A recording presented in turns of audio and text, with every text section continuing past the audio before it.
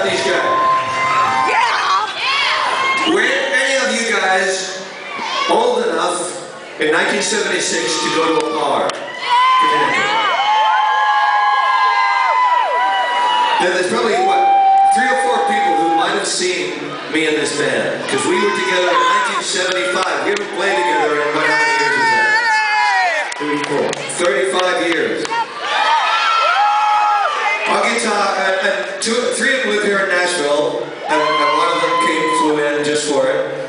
So we're going to do one song from 1976 album called Take a Hand, but I want to introduce them. This is a band played- you can see it on YouTube, you get, like there's really freaky versions of us doing this Take a Hand. We all look like we're 12. And Dick Clark even looks young. That- That's how, that's how. On guitar, this guy wrote uh,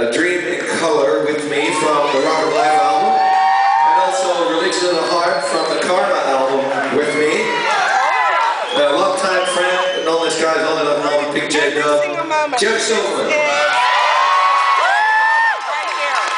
Jeff, Jeff's an uh, excellent writer producer himself here, and uh, any, any budding songwriters who want uh, want to get want to get their shit together, give this guy a call after the show.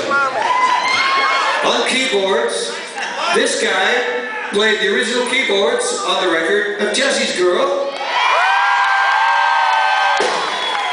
And he used to wear a gold lame suit in 1975 when he was here. Oh my God. Mr. Gabe Katona.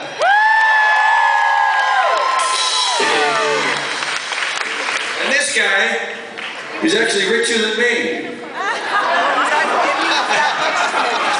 Big you yes. Ro- Ro- Robbie, Robbie Levin is, is an amazing guy, a great humanitarian, and he's done. When I was paying Robbie bucks a gig for to be in my band back in 1975, he was selling uh, custom T-shirts out of his garage and making 50 grand a month. And, and he's gone on and done better than that. Up bass, Robbie Levin. And, and, and the reason we all got together here tonight is for this big doofus on the drums. If you saw me in the 80s, you would have seen this guy. Jam, Jam played with me all through the 80s. On every TV show we ever did. And, and he was there through, through, through, the, through the thick of it in uh, 80 to 84.